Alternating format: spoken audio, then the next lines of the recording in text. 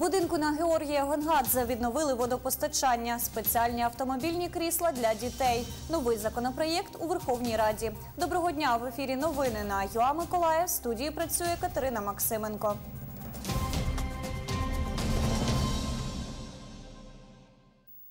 Будинку за адресою вулиця Георгія Гонгадзе 7 підприємство Миколаївводоканал знову увімкнуло водопостачання, яке було відключено за борги у вівторок 5 листопада. Голова правління ОСББ Паризька комуна Василь Малишев сплатив водоканалу частину боргу 18 тисяч гривень та уклав договір реструктуризації на один рік. Про це телефоном нашим кореспондентам повідомив директор Миколаївводоканалу Борис Дуденко. Увімкнули ми їм воду. Ну в ті дні, е, коли вода була вимкнена, ми забезпечували підвоз води для того, щоб е, мешканці могли е, набирати воду. Да. Потім ми увімкнули їм воду після сплати орієнтовно 20% заборгованості. На, на ту суму, яка залишилася, е, 80%, ми підписали знову знову договор реструктуризації. Підписали її на рік. Будемо моніторити, якщо е, погашення бор- боргу не буде, е, боргу е, за договором реструктуризації та також е, нарахувань, які будуть відбуватися. Якщо не буде, то ми свої дії будемо повторювати. А ось цей договір е, реструктуризації, як він е, як це працює взагалі? Е, Ну, та сума, яка залишається, вона розбивається на той період, на який ми домовляємося, і рівними частинами сплачується щомісяця. Нагадаємо, мешканцям багатоквартирного будинку за адресою Георгія Гонгадзе 7, що у Заводському районі міста, 5 листопада відключили водопостачання через заборгованість. Йдеться про суму в 110 тисяч гривень. Попередження про відключення водопостачання в багатоквартирному будинку під підпис голови ОСББ вручили 4 жовтня 2019 року. На під'їздах розклеїли оголошення. 5 листопада о 10 ранку опломбували вентилі. В п'ятиповерхівці 62 квартири, проживає 109 людей. Воду перекрили юридичним особам.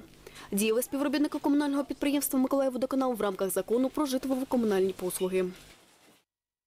Замість ув'язнення громадські роботи в обласному палаці культури працюють ті, кому суд призначив громадські роботи як міру покарання за скоєні правопорушення. Територію навколо обласного палацу культури прибирають Юрій Повшук та Роман Тутаєв. Це позаштатні працівники палацу, які виконують незвичну для себе роботу. Чоловіки відбувають покарання у вигляді громадських робіт. У звичному житті працюють будівельниками. Отрабатываю здесь общественные работы, после этого... еду Відпрацьовую на тут громадські роботи, і після цього їду на свою основну роботу. Я будівельник, будуємо садок, утеплюємо цоколь. Зараз збираємо листя, і виносимо їх в бак. Був конфлікт, побив дядька одного. Краще тут, звичайно, ніж в тюрмі.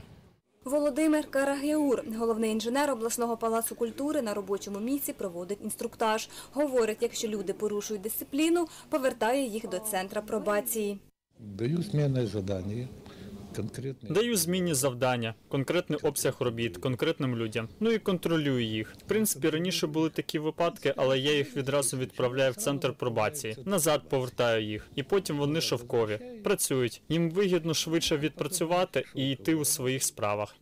Громадські роботи є безоплатними. З обласним палацом культури центр пробації співпрацює з 2001 року, говорить начальниця заводського відділу Державна установа Центр пробації Миколаївської області Ірина Нофенко. Кожного року Миколаївська міська рада затверджує перелік об'єктів та е, види робіт, на яких будуть відбувати таке покарання е, особи, які засуджені за цей вид е, до, до такого виду покарання. На теперішній час в обласному палаці культури у нас відбуває покарання дві особи. Е, Обидва вони засуджені за злочини невеликої тяжкості.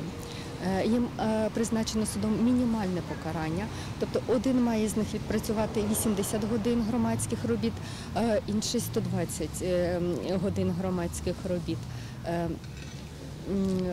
Один з даних осіб, один засуджений на теперішній час вже відбув 100 годин, то- тобто йому залишається відпрацювати лише цей тиждень.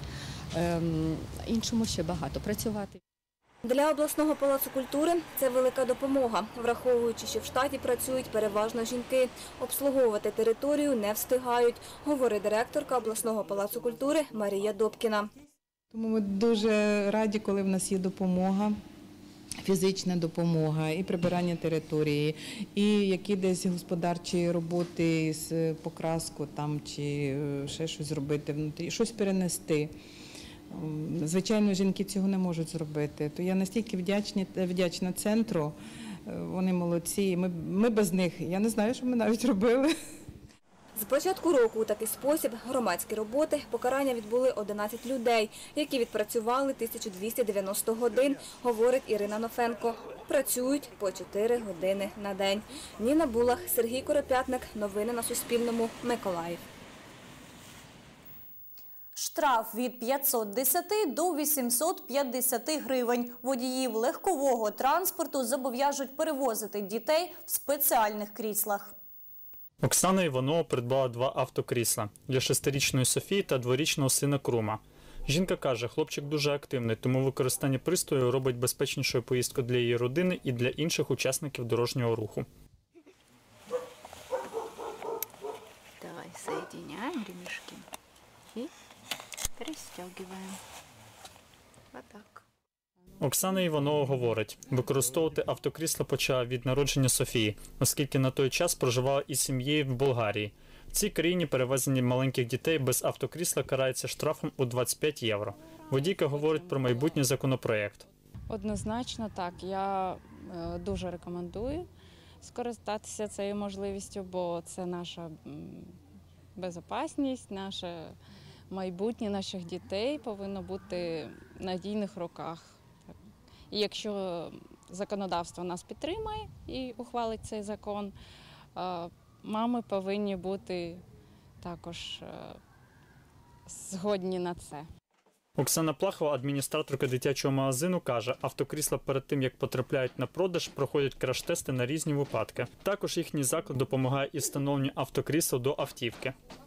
Крісла є як е, вузької групи вікової, так і універсальні автомобільні крісла, які розраховані з самого народження, а саме від 2,5 кілограмів до 50 навіть є кілограмів. Тобто це крісло, яке росте разом з малюком і покриває всі його фізіологічні е, потреби в різному віці. Це дуже зручно, тому що батькам не потрібно хвилюватися за автомобільне крісло через якийсь проміжок часу. Вони його купують одного разу і користуються на протязі всього періоду використання автомобільного крісла. Речник патрульної поліції Миколаївської області Віталій Душко каже, водії зобов'язані використовувати автокрісла дітям до 12 років або з ростом менше 145 см. Раніше за це водіям не передбачалась відповідальність, проте законопроект може зазнати змін. Закон на даний час проголосовано, але він ще не підписаний. Е, Зміни ще не внесені, тобто е, зараз поки що я не можу сказати, як ця норма буде діяти. Е, Але вже зрозуміло, що буде штрафні санкції від 510 до 850 гривень за це. Але як воно буде в подальшому працювати, які будуть саме поправки можуть до цього, це ми будемо знати пізніше. Виконання закону торкнеться і перевізників, які працюють на легковому транспорті, зокрема таксистів. Представники миколаївських таксопарків відмовились спілкуватися з журналістами стосовно використання автокрісел. Є позиція львівського таксиста Геннадія Попова. Возити з собою кресло дитяче. Возити із собою крісло е, дитяче, то фактично завжди зайнятий багажник. е, Відсоток поїздок з дітьми від загальної кількості 1-2%. З багажом З багажем 15-20. 15-20. Це аеропорти, вокзали. Якщо ми будемо возити з собою дитяче крісло, то фактично ми будемо вимушені відмовляти пасажирам з багажем. Нагадаємо, 29 жовтня 2019 року Верховній Раді ухвалили закон про адміністративну відповідальність за перевезення в автівках дітей без спеціальних крісел. Також забороняється перевезення дітей до 16 років в кузові вантажівок. Олександр Грес, Сергій Коропятник, Василь Фільмон. Новини на Суспільному. Миколаїв. Використання касових апаратів для фізичних осіб-підприємців стане обов'язковим. Український парламент затвердив кілька змін, які торкнуться малого та середнього бізнесу. Про що йдеться? Дізнаєтесь з сюжету Валентини Гурової вже у наступному випуску новин о 17-й. І на цьому я з вами прощаюсь. Бажаю вам вдалого дня.